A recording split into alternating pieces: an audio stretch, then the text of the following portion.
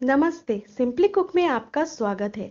आज मैं एक और रेसिपी आपके साथ शेयर करने आई हूँ, टमाटर की मीठी चटनी, जो कि बंगाली फैमिलीज़ में बहुत ज़्यादा बनता है। खिचड़ी के साथ ये टमाटर की चटनी बहुत अच्छी लगती है। तो चलिए, मैं आपको दिखाती हूँ कि मैं टमाटर की चटनी कैसे बनाती हूँ। यहाँ पर मैंने चार बड़े साइज़ के टमाटर कट करके रखे हैं। अब मैं कढ़ाई में सिर्फ़ बहुत ज़्यादा तेल नहीं है, हमको ऐड करना है। टू टी स्पून मैंने यहाँ पर ऑयल ऐड किया है और मैं यहाँ पर दो सूखी मिर्च को छोटे छोटे टुकड़े कर लूँगी और उसके साथ ऐड करूँगी पाँच फोड़न। पाँच फोड़न जो है वो पाँच मसालों का एक मिश्रण है। उसमें होता है जीरा और सौफ, फिर मेथी दाने, सरसों और होता है कलंजी। ये पाँच मसालों को एक साथ मिला के पाँच फोड़न बनाया जाता है। तो जैसे ये थोड़ा सा हल्का सा फ्राई कर लेंगे फ्राई करने के बाद हमें इसमें टमाटर जो हमने कट करके रखे हैं, वो हम इसमें ऐड कर देंगे।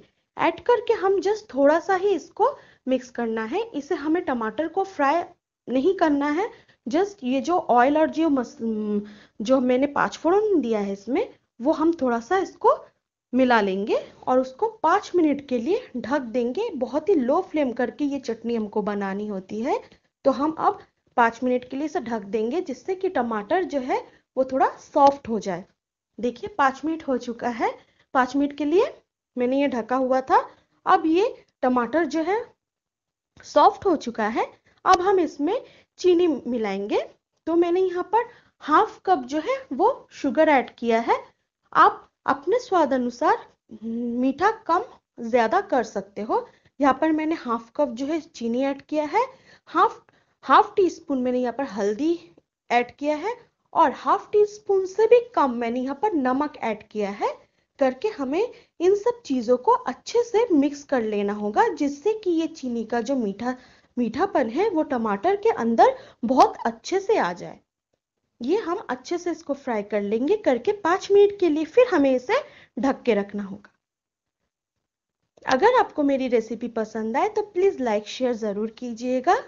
देखिए, पाँच मिनट हो चुका है, अब मैं इसमें आम पापड़ ऐड करूँगी, जो मैंने छोटे छोटे पीसेस करके कट करके रखे हैं।